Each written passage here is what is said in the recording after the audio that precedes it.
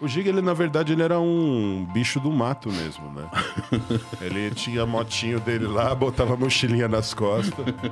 E era- imagina ele andando de Dream, Renato. Ele tinha uma Dream, velho. Não era Depois dela. uma Bis. É uma Bis? Não, era Jogue. uma lead, Honda lead. Lead. Uma Honda Lead. Caralho, tu cabe naquela porra? Porra, andei anos com aquela porra. Andava, velho. Ia pra faculdade com aquela merda. tu ia já era grande? Já, Já. pô. Caralho, devia ser né, um- velho? Tinha porra nenhuma, fudido. Não tinha onde cair Nossa, morto, velho. Mas devia ser algo feio de ver, Ah, tá era ligado? tipo o Donkey Kong no, em cima do kart, tá ligado?